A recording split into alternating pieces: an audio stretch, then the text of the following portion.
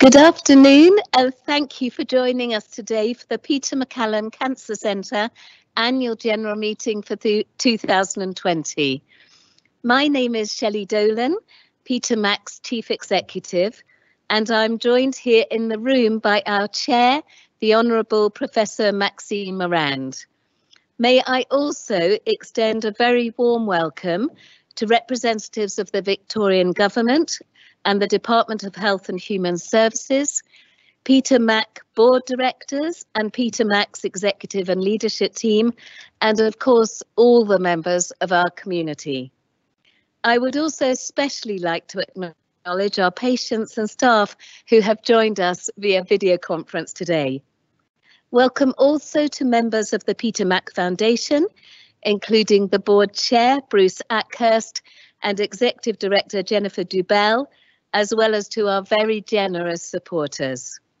A warm welcome to the Honorary Frank McGuire, Parliamentary Secretary for Medical Research, and Helen Mason, Senior Executive Director of Commissioning, Health and Wellbeing Division in the Department of Health and Human Services. Thank you both for joining us this afternoon. To our consumer representatives, our dedicated volunteers, and all members of the Peter Mac community, Thank you for tuning in. We also welcome all of our colleagues um, across Melbourne's Biomedical Precinct, our fellow Victorian Comprehensive Cancer Centre Alliance members, and everybody across Victoria. I would now like to introduce Auntie Zeta Thomson and the Welcome to Country.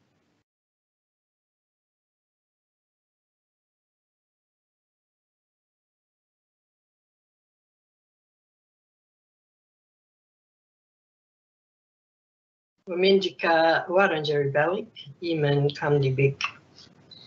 Welcome to the land of the Wurundjeri people. I pay my respects to our ancestors and elders of today. I acknowledge the Bunurong tribe who we share parts of Melbourne with.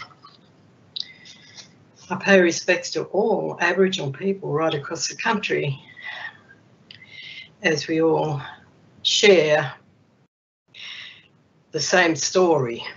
I am both of the Wurundjeri tribe from my father and grandfather and the uh, Yorta Yorta tribe from my mother. The Yorta Yorta of the Yalupna clan. And uh, we grew up knowing all our history from our ancestors, all the old ways and uh, language and so forth. So I pay respects to both my the two tribes, Yorta Yorta and uh, Wurundjeri. Pay respects to uh, Bunjil, the creative spirit ancestor, the creator, creator of everything in for the Kulin people. I also pay respects to Wa, uh, another spirit creator, um, and comes in the form of a black crow and the keeper of the wind and waterways. Firstly, I acknowledge my grandfather from the Wurundjeri clan, uh, Yarra Yarra clan of the Wurundjeri tribe, who as a young man was forced to leave his homeland on uh, Aboriginal Reserve where he was born and as a Yarra Yarra clansman um, in the days of uh, our new visitors coming to our country. First contact. Any uh, person with mixed blood was to um, move off the mission station and go out into the wider community and uh, mix course, they're Aboriginal people with still having their language and their old ways. But my grandfather went to Cummeragunja Aboriginal Reserve on the um, Dhungala River, the Murray River, and married a Yorta Yorta woman, my nan. and have a large family. Aboriginal people have a strong spiritual connection to our land, the water, moon, sun, and the stars, and they are all in our stories that we have. Our stories are all around us, and you could see all our connection in our artwork today, in our dance, and many other ways of connecting to country. We have the oldest living culture on earth, older than the pyramids of uh, Egypt, um, the Chinese, Great Chinese Wall, and many other places right across Europe. Our culture is ancient and we are trying to maintain what is left for us to pass on to our children and grandchildren. Aboriginal people today are self-determined and um, we look forward to making our own decisions in all areas, in government and um, all around us. We want to be able to have a say in the lives of our people, what's good for us. Um, so it's important that we share with you a little bit about our life, thousands of years of who we are today now is because of our past and knowing who we are. And welcome to the land of the Wurundjeri people and uh, thank you.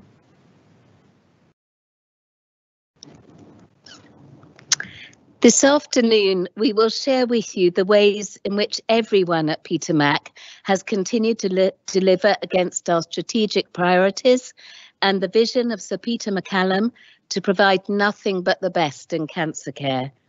You will hear how we have prioritised research driven individualised care and demonstrated remarkable resilience and camaraderie throughout the year. As we take you on our 2020 journey through all the projects, successes, and developments, I invite you to remember the extraordinary circumstances that we all here in Australia and in Victoria have shared. The first address today will be delivered by our chair, Professor Maxine Morand. I will then share my reflections on the year that was before handing over to Professor Ben Solomon to deliver our keynote address. Before the cl conclusion of today's event, we will also invite members of our community and the public to ask questions. These will be answered at the end of today's formal proceedings by Professor Morand and myself. If you would like to ask a question throughout the event, please search for menti.com and enter code 5154377 as you can see on the screen and this will pop up intermittently throughout this evening's meeting. Formal proceedings will conclude at 5.30. It is now my pleasure to introduce Professor Maxine Morand to deliver the board address. Thank you, Maxine. Thank you very much, Shelley, and good afternoon, everybody.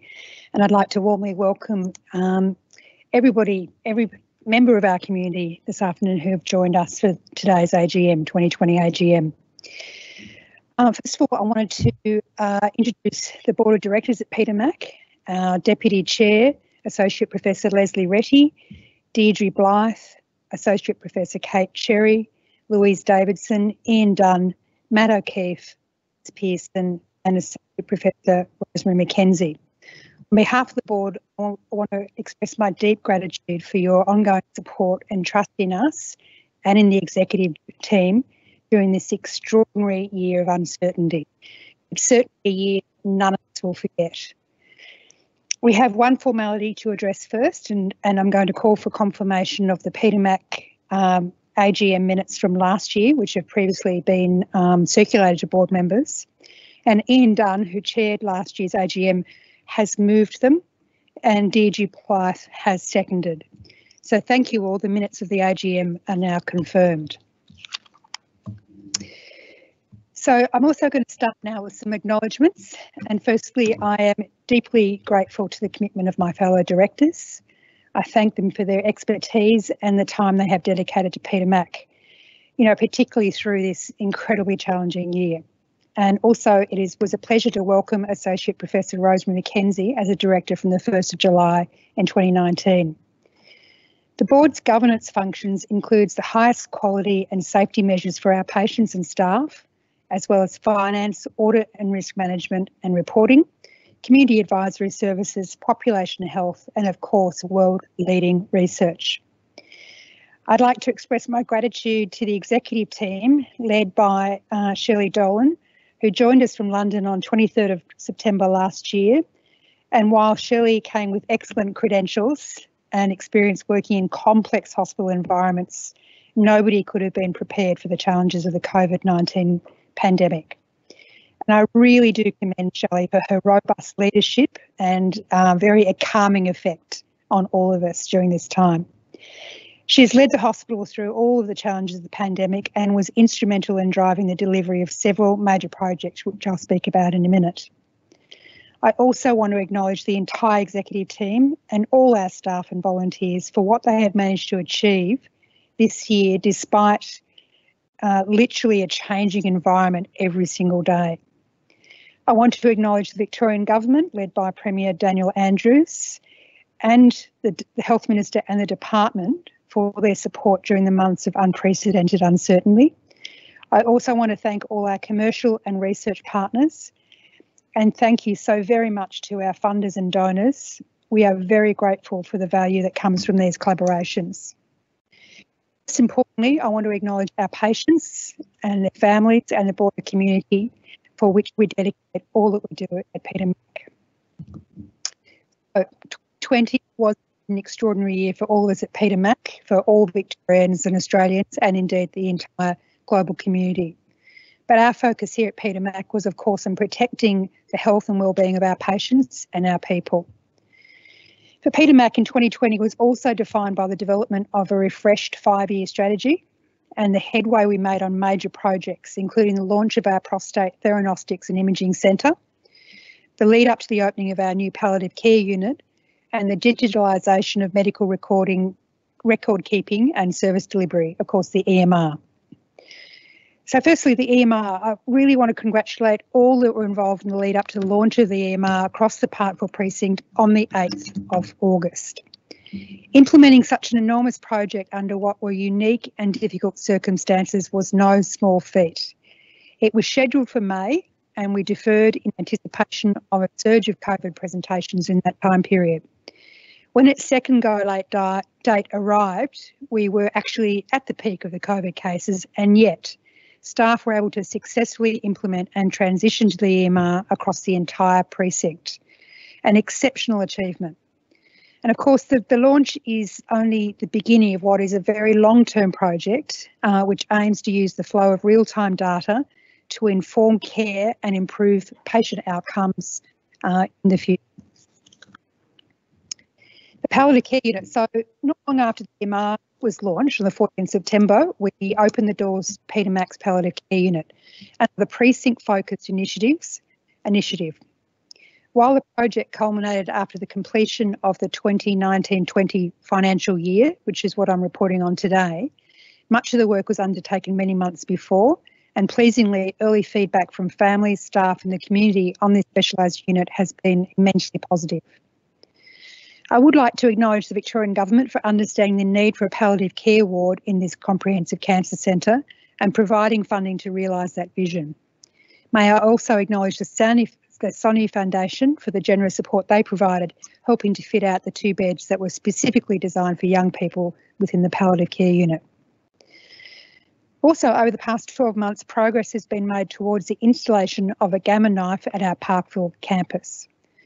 A gamma knife is a radiotherapy machine widely accepted as providing the best standard in radiosurgery for adults and children with brain tumours.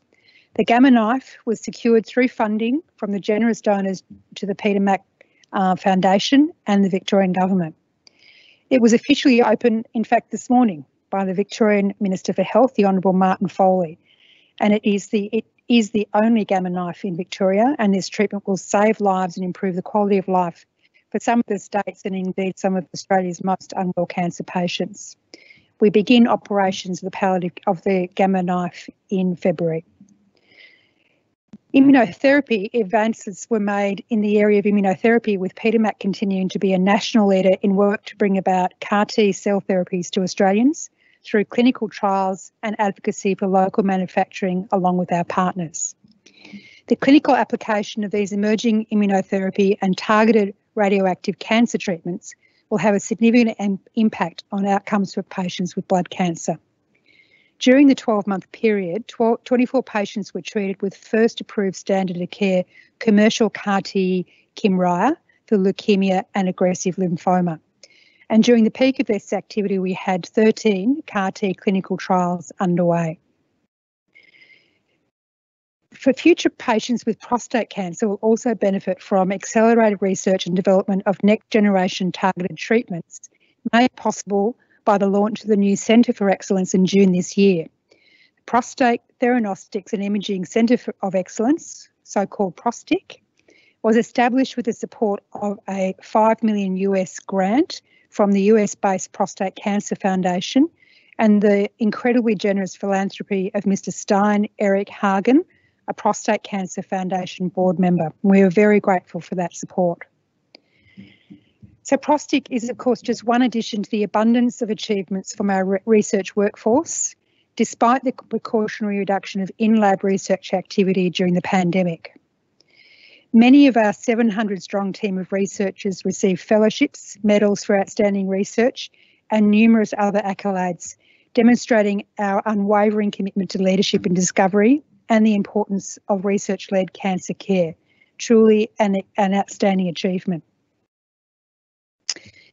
During the COVID 19 pandemic, Peter Mac also took a leadership role in the advocacy of continued cancer care, engaging with the media, stakeholders, and patients directly to encourage the continuation of high quality cancer treatment and diagnostic testing.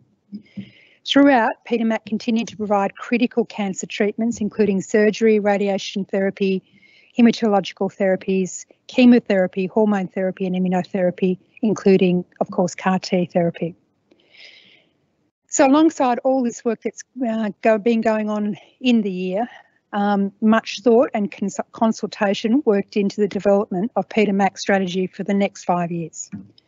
And the Strategic Directions 2020-25 document is complete. Uh, we hope we were hoping to be able to release it today, um, but it's still with the department and with the minister. But it will be imminently available. And of course, you can be reassured that our strategy will continue our focus on research-led world's best cancer care for our patients. I'd like to take this opportunity to acknowledge the essential role of our donors and supporters and the role they continue to play. In 1920, uh, the, in that year, the Peter Mac Cancer Foundation contributed more than $25.5 million to support Peter Mac.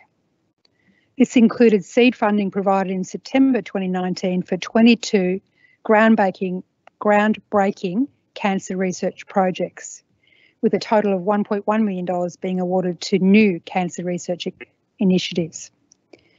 And it was really inspiring to see that more than 3,200 people registered to participate in the Foundation's major event, Unite to Fight Cancer. With the support of nearly 25,000 sponsors, participants ran, rode, or walked their way to raising more than $1.8 million for vital cancer research. Peter Mac Research continues to attract grants, fund, grants funding with nearly $20 million from the National Health and Medical Research Council's investigator grants allocated to 12 different Peter Mac projects commencing in 2020. This was the first tranche of many such grants, and in fact, in the past financial year, Peter Mac Research attracted total income of 150, nearly $115 million and I really want to take this opportunity to acknowledge uh, the exceptional leadership of Professor Ricky Johnstone and his research executive, and indeed the whole research team, for managing to work so effectively through incredibly challenging work environment during the state's response to the COVID-19 pandemic. So finally, before I I hand back to Shelley. I am pleased on behalf of the Board Directors to release to the public the 1920 Peter Mac annual report, which was tabled in Parliament recently. The report includes information on Peter Mac's performance, progress and outcomes over that year, and it also delves deeper into our strategy, providing an assessment of our performance against the Peter Mac strategic directions and the statement of our priorities agreed with the Victorian Minister for Health. And the annual report sheds light on what Peter Mac's purpose and values, highlighting why it is we do what we do and how we plan to keep improving to be the best we can be and a digital version of the annual report is now available on our website. So thanks again everybody for joining us today and I'm going to finish by introducing a highlights reel from the past year. Thank you everybody.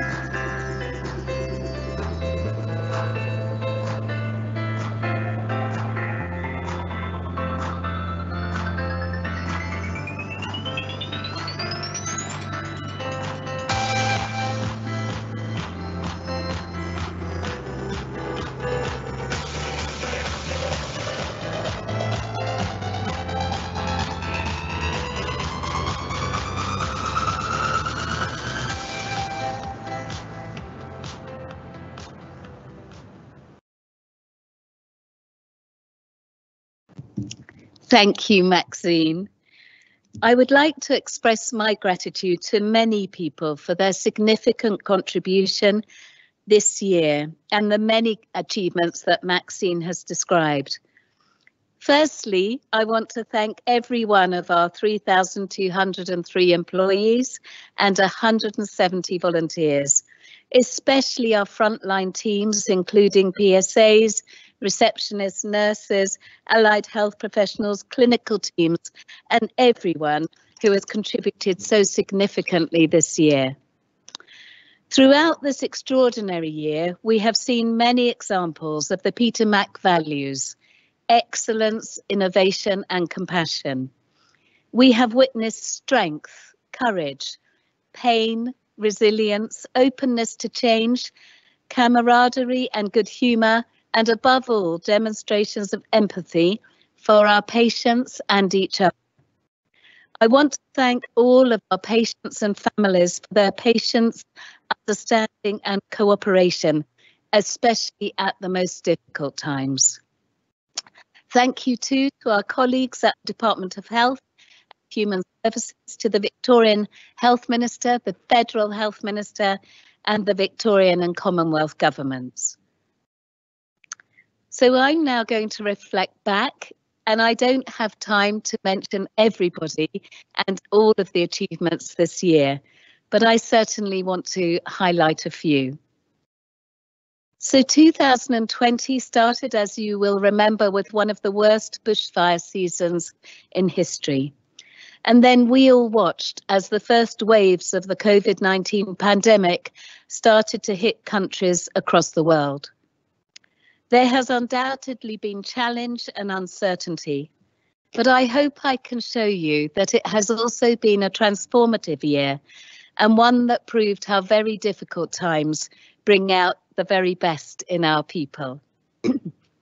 this evening, I would like to provide you with a glimpse into the last 12 months and the many, many ways in which everyone at Peter Mac continued together to deliver the best of cancer care, but also to rise to the challenge of a global pandemic, offering support and services across the precinct, but also across Victoria. As a specialist cancer health service with no emergency department or aged care facilities, we immediately saw our role beyond that of cancer care as a support to our colleagues across the precinct and particularly the Royal Melbourne. We determined as an executive team that we would ensure the continuity of the best cancer care, but above and beyond that, if we could assist with anything in Victoria, that is what we would do. And I remember in one of our first town hall meetings, when we were still able to meet in person on level 13, I explained this view to probably about 250 of our staff. And there was immediate and loud support. As several people shouted out, Don't worry, Shelley, we've got this. In this, my first year at Peter Mac, I have been continuously reminded of how amazing all of our teams are. This afternoon, you will have to forgive me that I can only give a brief glimpse into their generosity and spirit. Very early in the first wave, our pathology team were called upon to assist the Royal Melbourne and the testing programme. This is the first example of a team who did not hesitate, and I want to give particular thanks to Stephen Fox, Peter Gamble, and Dominic Wall our whole pathology team who worked tirelessly externally and internally to ensure teams were safe and testing was delivered.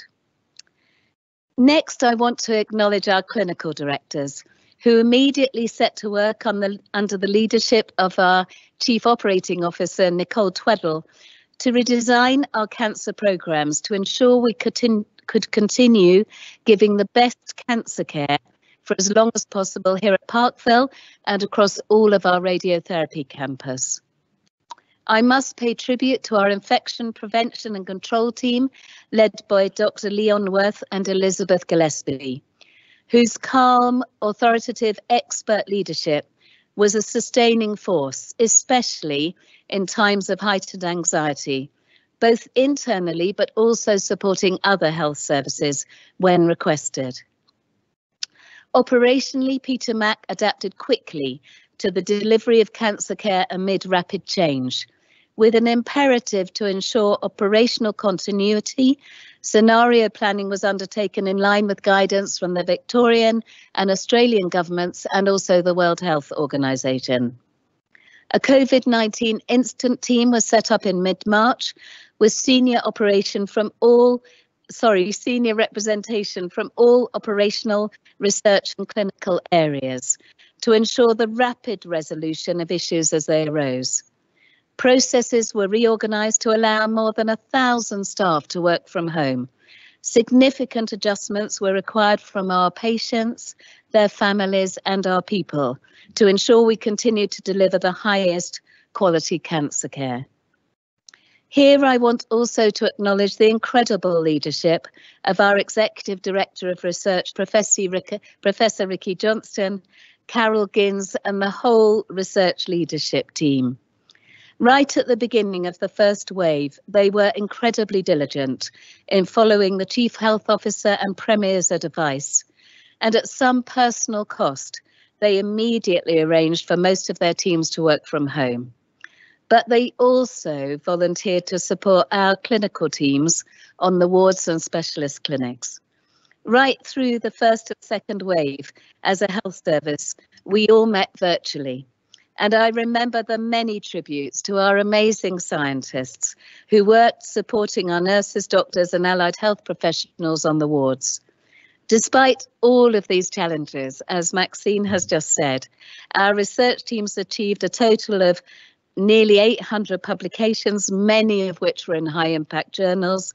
They led 320 active clinical trials and successfully applied for many grants and received many national and international awards.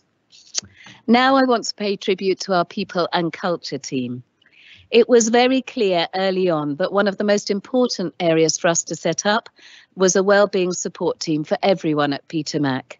Under the leadership of the then Executive Director Helen Havenga and Jerry McDonald, they were tireless in providing practical support and help with everything from parking, childcare, and leave entitlements. At the same time, it was clear that we needed the support of expert mental health practitioners.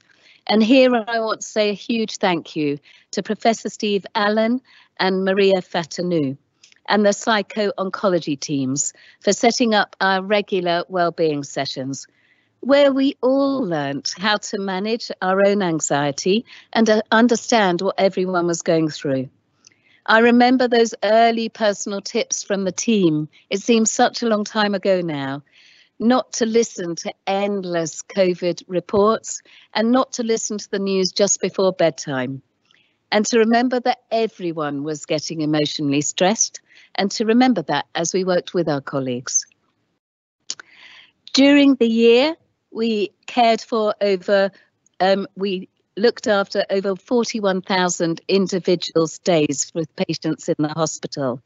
And in the height of the pandemic, we reached a peak of 63% of clinic appointments being delivered virtually. And here I want to thank our ICT director, Emmy and her team for her, their tireless leadership, ensuring the telehealth conversion, but also ensuring over 1,000 of our people could work from home. One of the very hardest challenge for all of us was to face the fact that we had to severely limit visitors to our inpatients. But here again, Peter Mac people triumphed. Following an appeal during one of my virtual sessions, through the leadership of Anne Francie Ford and Lynn Dresens, our volunteers got to work and we had virtual visitors set up almost overnight. And then to my absolute delight and huge gratitude, two of our brilliant radiation therapists under the leadership of Nilgun Tuma Nigel Anderson and Daniel Sapkaroski adapted the virtual reality ha- headsets that they had invented for their radiotherapy patients to a disposable version for inpatients to make their time more bearable with distraction. I think that goes to show a lot about the ingenuity, compassion, and excellence of our people here at Peter Mac. Everyone on the hospital incident team played an incredible part. But I just want to acknowledge Dana Peters and Amanda and the whole procurement team. They kept us all safe. We were always provided with personal protective equipment and were early initiators of fit testing the 95 masks following DHHS advice. Thank you. I want to now pay tribute to the leaders in the DHHS. As someone who has only been in Australia for just over a year, I really want to pay tribute to the incredible leadership that I have found here, to the leadership of the Premier, Daniel Andrews, and his health ministers, to the Chief Health Officer, Brett Sutton, to Terry Symonds, Helen Mason, Ben Fielding, Ryan Heath, and many others who were unceasing in their calm, expert advice and were instrumental in providing regular important information to us so that we could distribute that onwards. I know they all worked incredible hours to support us, and everyone at Peter Mac and across Victoria is very grateful to you.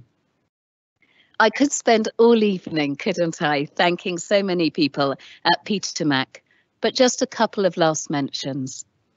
During the second wave, Terry Symonds rang me one weekend and asked if we would be prepared to lead the Hotel for Heroes programme. This meant providing safe accommodation for any frontline staff across Victoria. I rang our executive team that night and again without delay, our executive director for clinical governance and projects, Lisa Dunlop, immediately agreed.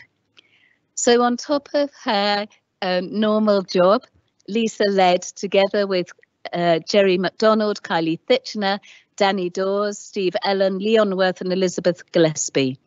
They got to work and with incredible expertise and grace, provided care for over 1,500 frontline Victorians who scored the service they uh, received above 85% for overall safety and satisfaction. I must pay tribute to our chief nurse, Jack Matheson, who again very willingly responded to the call to assist all of Victoria. And she has worked in the department clinically leading on the workforce response and personally assisting in aged care. Whilst she also ensured the International GAP conference became a reality, but more of that in a moment. Communications. Throughout my career, I have always found that information and communication is of paramount importance during any major incident. And of course, this major incident has lasted for a very long time. I therefore want to acknowledge our brilliant communications team and Director Vanessa O'Shaughnessy, whose expert support has been absolutely critical over the past year. Finally, I want to acknowledge our chair and board of directors for their constant support. Maxine has been a wonderful support to me personally, and no more so during the pandemic, when I knew that she was always available. Maxine often joined us for virtual town hall meetings, and I know it meant a lot for all of us to know that although our board chair and directors couldn't physically be with us, they were and are a constant support.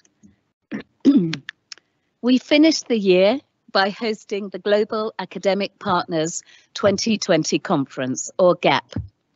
And here again, I acknowledge the leadership of Jack Matheson, who redesigned the conference with colleagues from across the United States to be hosted virtually for the first time by Australia in partnership with MD Anderson Cancer Center in Texas.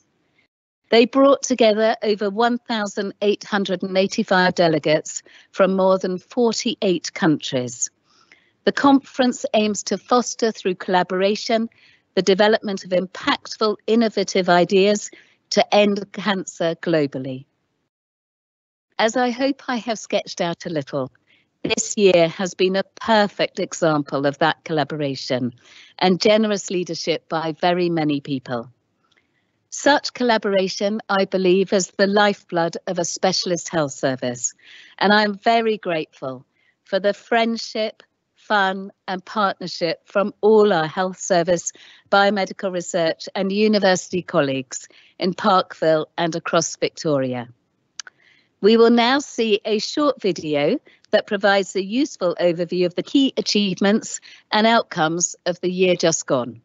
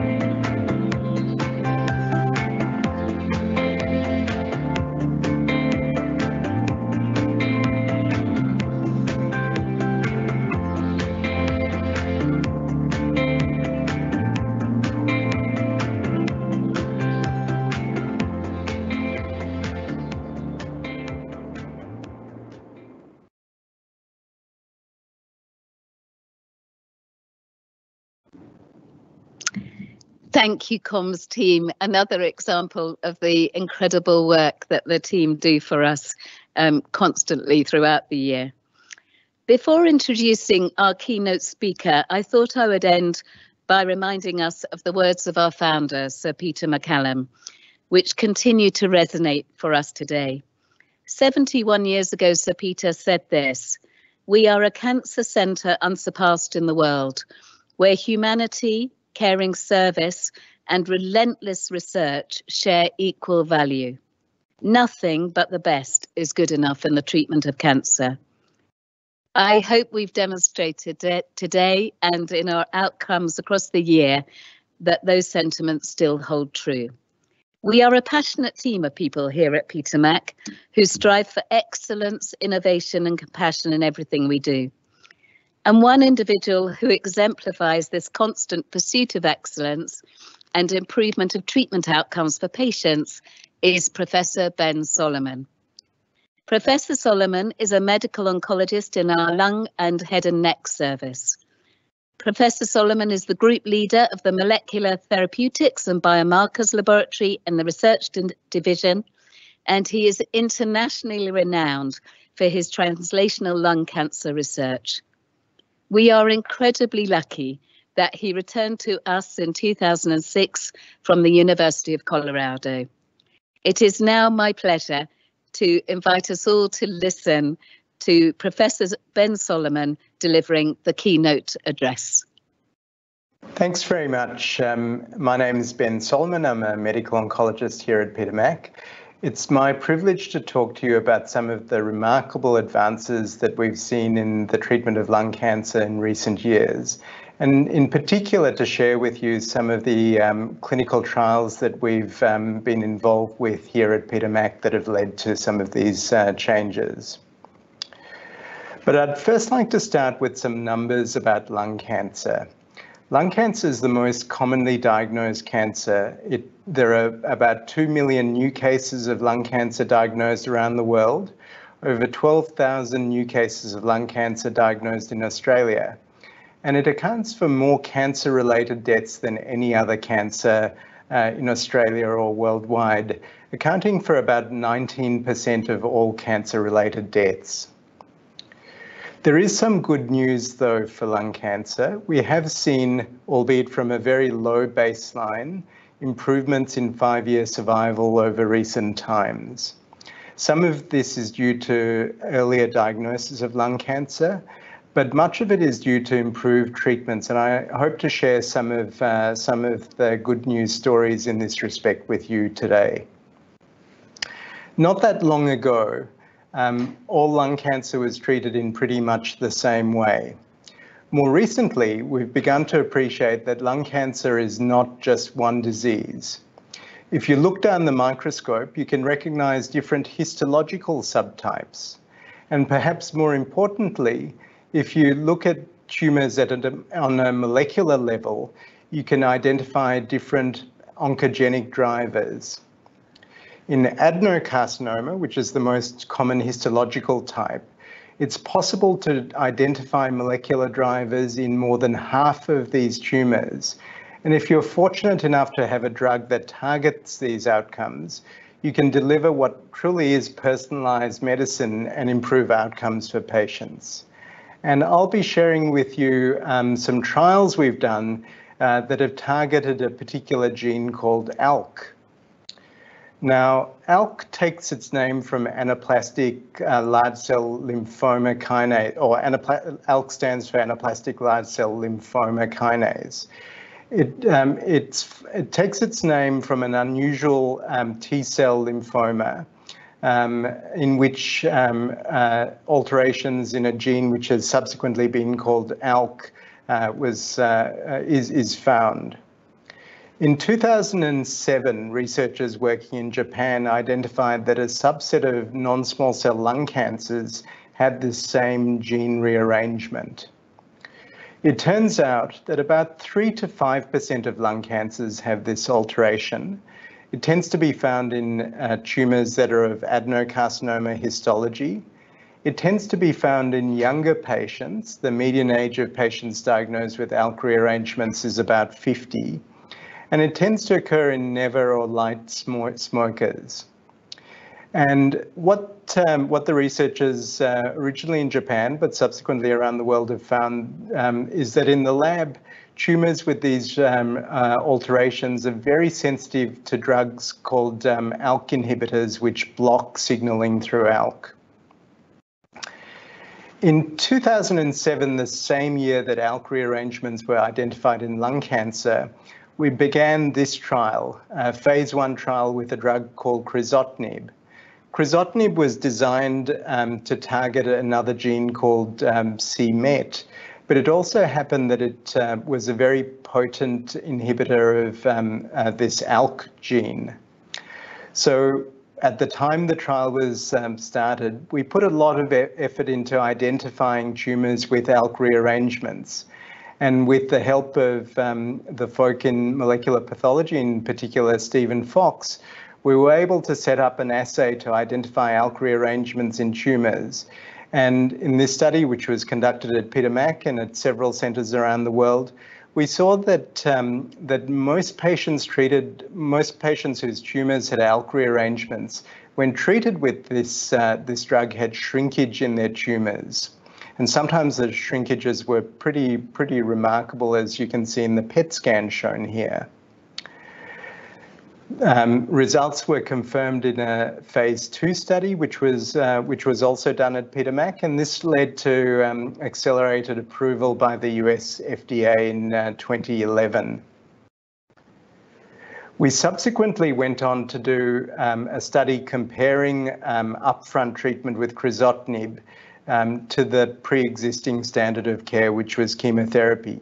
So in this large global phase three study, patients with newly diagnosed ALK-rearranged lung cancer were randomized to treatment either with crizotinib or to chemotherapy. And the study was strongly positive in favor of crizotinib. And this led to approval of crizotinib by the PBS in Australia in 2014 and made testing for ALK rearrangements and treatment with upfront ALK tyrosine kinase inhibitors standard of care for ALK rearranged lung cancer. We also showed that compared to historical survival in the order with uh, historical survival which had been poor in the order of a median survival of about 12 months, with treatment with tyrosine kinase inhibitors, patients were able to live with median survivals in excess of four years with treatment with uh, crizotinib and similar drugs. We do know, however, that tumours can become resistant to crizotinib and progression of um, disease can occur, in, particularly in the brain. So there have been newer, more potent ALK inhibitors developed, so-called second and third generation inhibitors. And these compounds have in common that they're more potent against ALK and against mutations that confer resistance to crizotinib. And they're also much better at getting into the brain. One of these um, inhibitors um, the, uh, is a drug called lorlatinib, uh, which is a so-called third generation inhibitor. It's got a unique structure which makes it um, very, um, a very compact molecule, which is very good at getting into the brain but also uh, very good at accessing the ALK tyrosine kinase inhibitor, even in the context of mutations that cause resistance to other compounds. So we did a phase one and two study with lorlatinib, which started in 2014. And the study had um, multiple different arms in phase two, including an arm where patients whose disease had progressed on prior drugs were treated with, um, um, with lorlatinib. And uh, on the basis of um, this study, patient uh, lorlatinib was approved for patients who had progressed on prior ALK inhibitors.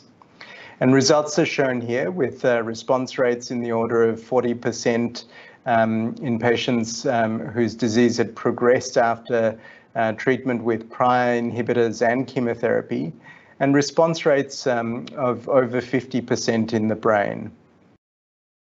And this led to FDA approval in 2018 and PBS um, listing of lorlatinib early this year. Um, this is an example of a patient who was referred um, to the trial who's uh, kindly allowed me to share his story with you. Um, uh, this patient is a 32-year-old man who had never smoked, who was diagnosed with um, advanced ALK-positive lung cancer in 2014. He began treatment with a drug called ceritinib, a second-generation inhibitor, which initially worked well, but his disease started to progress despite the ceritinib. And he was referred for um, the trial that, um, that I just mentioned. Unfortunately, his disease progressed very rapidly and he presented with seizures to the emergency department uh, at the Royal Melbourne across the road. His scans shown here, he had multiple um, large brain metastases with midline shift. He required urgent surgery to uh, resect the largest metastasis and commenced treatment on lorlatinib, um, which we were able to access through a compassionate access scheme. Um, he also happened to get married uh, on the rooftop, on the seventh floor rooftop, um, uh, within days of starting this compound. He started in 2016 and his scans um, just a few weeks ago shows that he maintains a complete response to the drug in his brain and elsewhere. And he sent me this photo um, last month of uh, a hiking trip he did in the mountains of Tasmania, uh, four years after his presentation to the emergency department with seizures. So we've gone on since then to do a, a phase three study looking at the role of lorlatinib in the first line study, uh, first line setting. Uh, you, in this study, which is called the CROWN study. Patients were randomized to, with newly diagnosed ALK positive lung cancer were randomized to treatment with lorlatinib or to crizotinib. The study was strongly positive. The response rate was 76% um, in the patients treated with lorlatinib compared to 58% in patients treated with crizotinib. And the progression-free survival um, was um, uh, was strongly um, positive in favour of lorlatinib, um, with a median progression-free survival that had not been reached for lorlatinib compared to 9.3 months with crizotinib, with a hazard ratio of 0.28. The drug was particularly active in patients with brain metastases, which accounted for about 20, 25% of patients um, on the study. The response rate to lorlatinib was 82% um, in the brain um, in, pa in uh, patients with measurable brain metastases who received lorlatinib, compared to 23% in patients who received crizotinib and 71% of patients had a complete intracranial response to lorlatinib. And what we were also able to show was that lorlatinib um, not only was able to treat and um, uh, shrink established brain metastases, but it also prevented the development of new brain metastases. Um, and as shown here, significantly prolongs time to intracranial progression with a hazard ratio of 0.07 with very few patients treated with lorlatinib uh, developing progression of their disease in the brain. And these results um, have been published uh, last month in the New England Journal. And what really is remarkable is the effect um, that these drugs have had um, in terms of survival in this patient population. We've seen survival that's previously been measured in years, um, moving to timeframes uh, previously measured in months, I should say, historically, um, improving to survival that's measured in years with um, hopefully further gains um, being brought with, uh, with improved uh, drugs. This is a photo of a cake that one of our patients brought to a recent um, uh, lung clinic. Uh, this cake was to was a patient who was enrolled in one of our crizotinib trials many years ago and marked his 10-year anniversary from the diagnosis of lung cancer. And I hope with the ongoing trials that we have and the better treatments, we'll see many more significant anniversaries like this um, being marked in, in the future. And finally, I'd like to thank um, all the patients and their families who have participated in the trials which have been so important for advancing treatments for lung cancer, and to thank um, the Peter Mac uh, trials team um, involved in these trials. And finally, to thank you for your attention.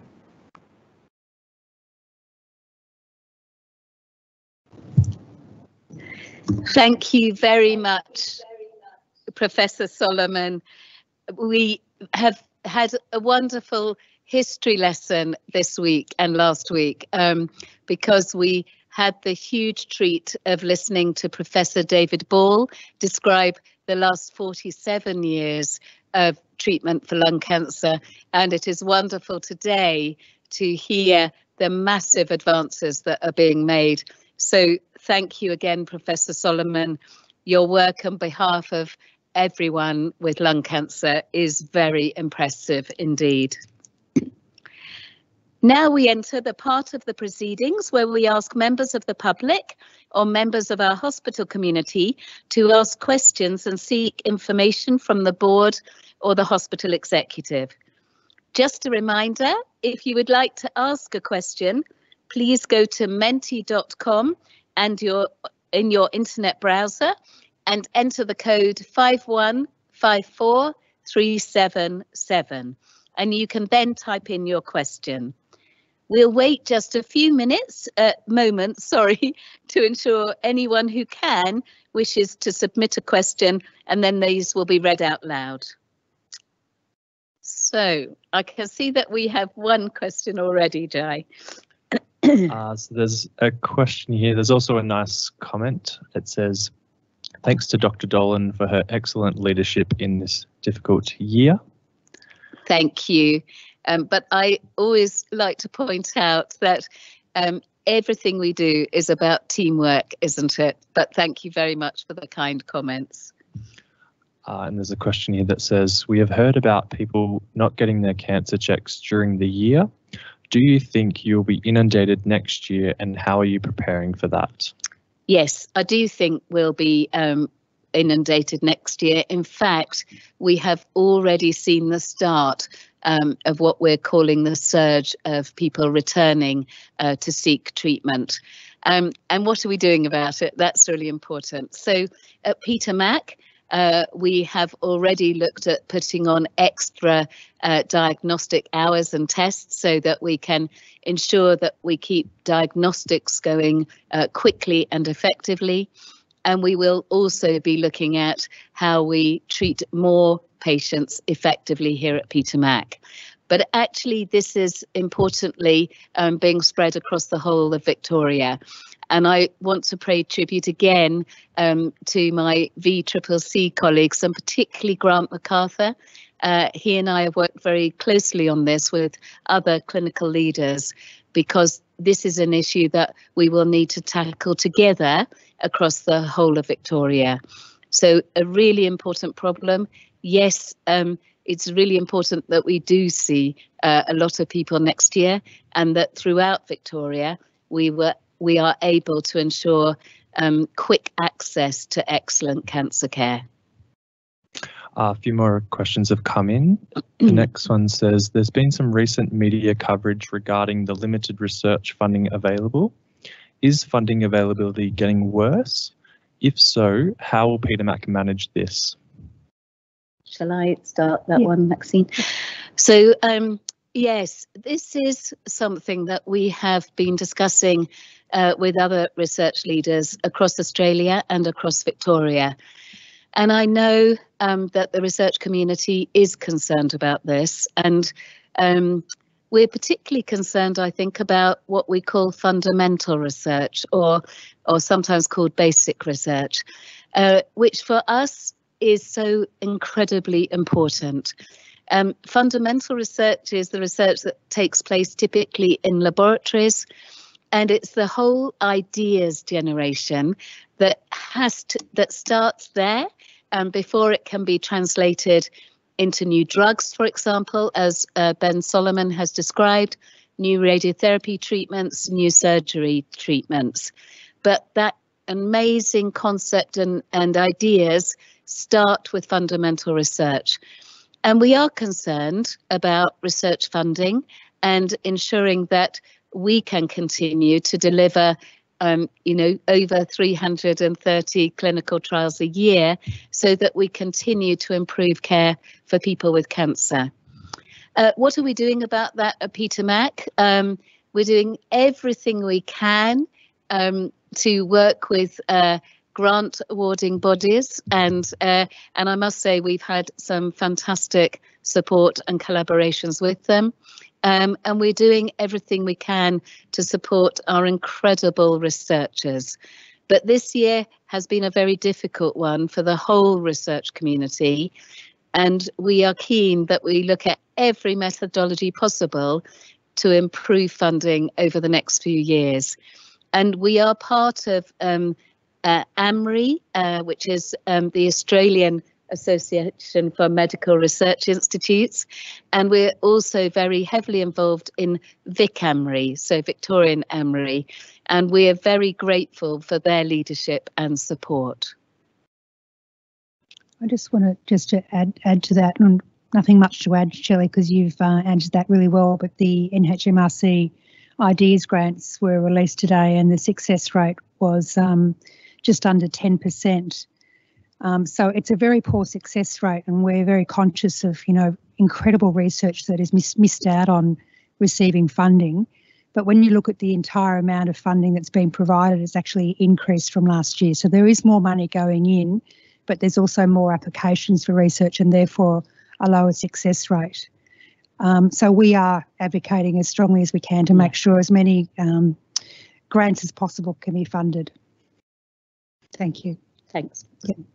Uh, there's just another nice comment. Wonderful to see the impact of Peter Mac leadership on lung cancer, a big challenge, Peter Mac leading the way.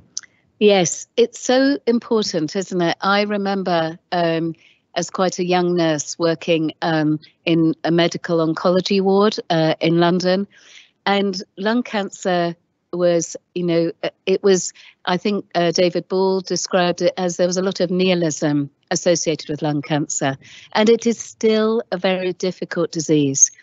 But we now have, you know, compared to 30 years ago for me, 47 years ago for David Ball, we now have such a lot of uh, treatment modalities that we can apply.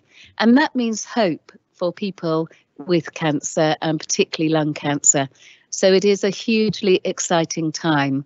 And as you say, fantastic that Peter Mac is leading the way. Uh, there's one more that has come in. Thank you, Peter Mac, for always giving safe and high quality care um, during COVID or not. What are some of the COVID experiences which you think will lead to far reaching changes in the cancer care? Yeah, good question. Um, so one of the ones that's been talked about a lot is the availability of telehealth. So um, working um, across um, Victoria, but also across Australia, and enabling access uh, for people further away um, from metro areas. Um, we're keen that we're careful with telehealth. Um, it is really important um, that patients are enabled to see their clinicians for important parts of their cancer diagnosis and journey, and also have access to the whole multidisciplinary team, to their nurse specialists and to um, allied health professionals such as dietitians and physios, for example. But I think telehealth has a really important place um, in the treatment journey of people with cancer. And we have seen fantastic investment and support for telehealth. So I'm hoping that the whole of virtual care, of which telehealth is one component, will be really improved um, through the catalyst of the pandemic. And I think the other um, major thing that I would point to is the way that we have all worked together. So, as you know, in Victoria, clusters of health services came together around the pandemic response. But we are going to take those forward now to address particularly deferred care and to improve care closer to home. So that's another example of, of a um, initiative that was started because of the pandemic and actually I think will lead to much improved accessibility of care for all Victorians. That's all the questions. So I think that's the end of our questions. So it just falls to me now to make um, a couple of closing remarks. Thank you everyone for your participation in today's proceedings. Thank you very much to our chair, Professor Maxine Morand. That brings to a close the formal proceedings of the 2020 Peter MacCallum Cancer Centre annual general meeting. The outcomes and achievements highlighted this afternoon are testament to the work done every day to deliver on our vision. But the really brilliant thing is there's always more to do, more discoveries to be made, more patients and growing communities to serve. We look forward to continuing to serve Victorians and those across Australia into 2021 and beyond. On behalf of the board and Peter Mac, I would like to thank you very much for joining us. Good evening. Thank you.